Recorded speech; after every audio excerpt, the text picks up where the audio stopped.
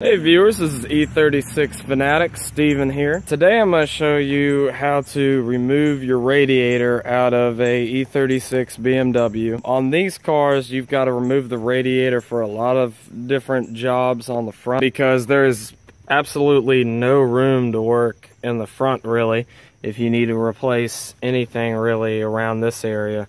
So especially on these larger six-cylinder motors on the E36 series, uh, you're going to find yourself having to remove the radiator more oftenly than you would like to. But the good news is it's pretty easy.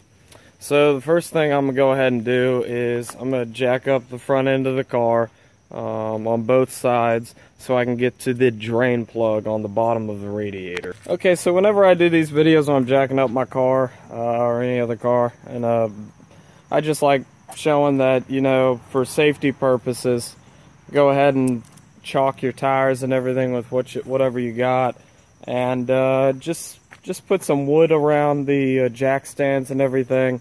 Um, you know, jack stands do fail sometimes, so it's nice to have a safety safety net for it. So the first thing I like to do when I am uh, pulling my radiator, and this isn't just something uh, this isn't just something you do if you're pulling the radiator. If you're changing the fluid too, you would do this. Um, and this is your radiator right here. And here is your here's your uh, here's your tank of the radiator. So right here is the drain plug. And it's really easy to turn out. You can just use a screwdriver. And I got my little pan ready.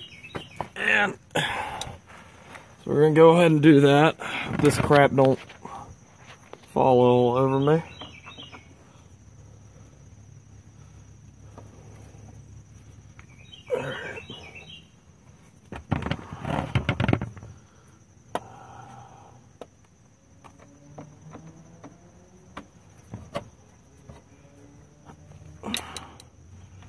Yeah, so it's really easy to. Uh, there it is.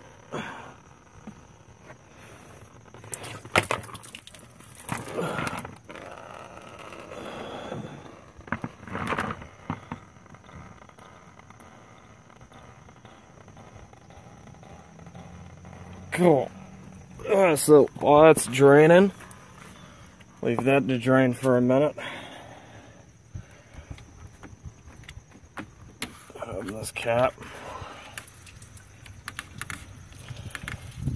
Opening this kind of, opening that will release the pressure on it, on the coolant, so I can go ahead and really flow out. It's got still good amount left in it to drain. So once you're done draining this, and you do, you drain the liquid, you drain the coolant for a number of reasons.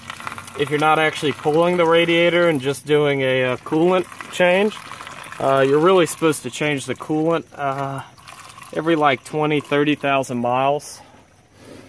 Um, so I, I, needed to change the coolant anyways, but I'm replacing a couple, couple uh, other parts. So first thing you're going to do once you're done with that is you've got to pull this plastic cover right here because it's going to be in the way of your radiator when you're trying to pull it. So it's really easy to pull out. Basically, you just got these screws and you know, just keep track of all these screws you're pulling out and everything and all the bolts so you don't have to go looking for them once you're done. I'll go ahead and pull these screws out of this and pull this out. Okay. So once you've got just these couple of screws out of uh, out of this cover plate, basically, um, you're going to go ahead and pull it out, which is real straightforward on how to do.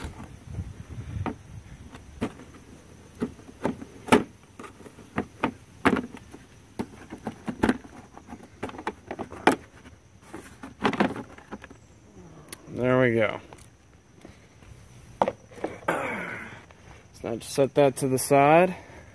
You can get a better glimpse of your radiator at this point. And I got some crap in it. You can see all that I need to clean out. This is also a good idea if uh, you need to clean out, clean your radiator. Um, they car uh, they don't really like to tell you this, but you can extend the life of your radiator a lot if you just do some basic maintenance and cleaning on it every so often. So anyways, so the next step is we got to get we got to get your alternator uh, air duct out of the way. So first thing you got to do is you got to go ahead and pull um, pull your air box here. So it's real simple if you haven't done this before. I'm just gonna I'm just gonna remove it at the mass airflow sensor. So you just have these two clips and you can just pull them with your fingers. I don't even use a screwdriver. And then you got these two 10 millimeter uh, bolts right here. And then this pops right out. So once we got the air box out, we can go ahead and remove this hose, which you just have one, uh, you just have uh, one little fitting right here or you just have one hose clamp right here. It's just a flat head, and it's not going to be on very, very tight at all.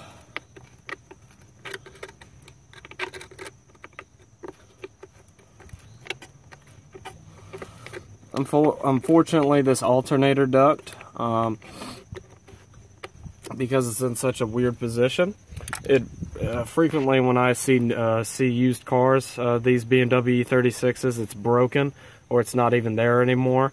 Um, so mine broke pretty quickly actually after I bought it. So I just threw on some electrical tape on it. so at this point, um, there's a couple more things to do to go ahead and uh, go ahead and get the radiator out. So you're going to need to remove this small hose right here, just unconnected right here. And then you're going to need to remove your upper radiator hose and your lower radiator hose down here.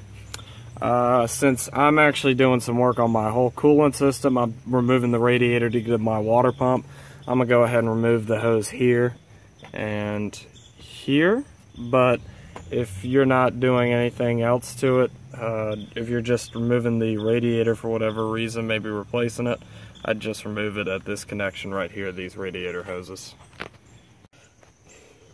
Okay, so at this point, once you have these hoses disconnected, and mine were pretty easy. Um, I think somebody's replaced them before I owned this car because they're in pretty decent condition. Uh, so once you've got them disconnected from either the thermostat housing or the radiator itself and this little bleeder hose, next thing you can do, and you don't really have to do this in order, but this is how I do it.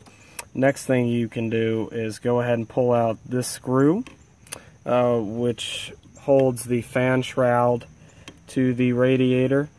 This little screw right here, and then there's another one right here.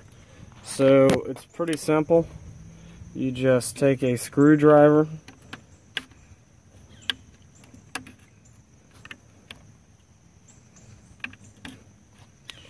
just take a screwdriver and get under it and pull it right out and it comes right out that way okay so once you've got all these things done there's just a few things left to do to pull out this radiator so you see these two clips right here? There and there. You need to remove them so what you do is you just stick in a thin flathead screwdriver. And a lot of people seem to have trouble with this but uh, with these clips they're a little bit hard to get out. But if you just fiddle with them it'll come loose. So once you got that come over here. Do the same thing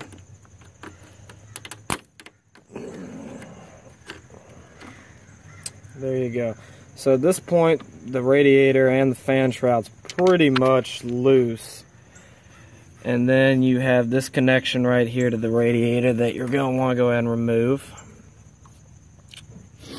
And then, last but not least, you got one more main thing to do.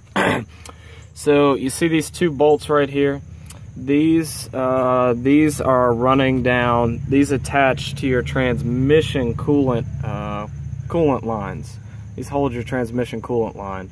So you need to go ahead and unbolt these two bolts at the top. They're 8 millimeter, and at the bottom there's another 8 millimeter uh, bolt holding this in. And then you're about uh, home free for the radiator. Okay, so besides these two bolts on top, which are really easy to get out, there's one at the bottom, uh, which is more difficult to get at. Uh, I had to use a, or I, I've had to use a monkey wrench to get at it. A little 8 millimeter, and it is right under here. It's this little 8 millimeter right here. Uh, this rubber's in the way, so I just pull it back. And there's not much room, but once you get a few turns on it, you can just hand loosen it until it's out. So you can see at this point, after pulling these two screws out, and you can just pull this right off. This is completely unattached. And now we can just remove the radiator. Why don't you do it?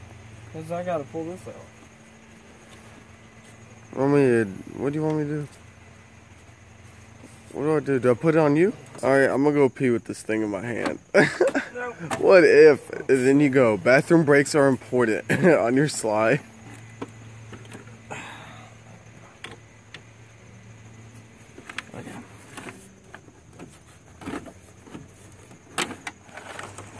Woo! Mm, look at all them bugs. Your count is high. Manda. Oh wait, you got the.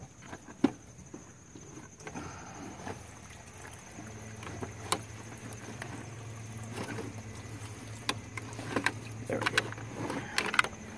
You got your radiator fluid.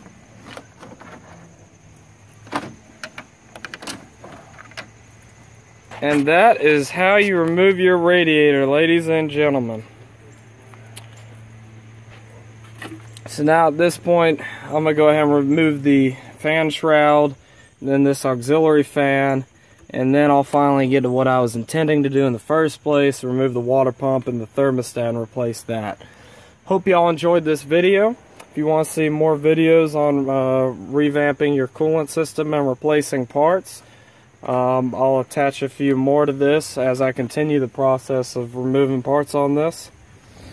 Um, also, So you can see, this radiator's filthy. Um, this all this crap in it, and you can see it all in the fins. This will cause it to prematurely break down over uh, or go bad over time. So I'm gonna clean it up real nice.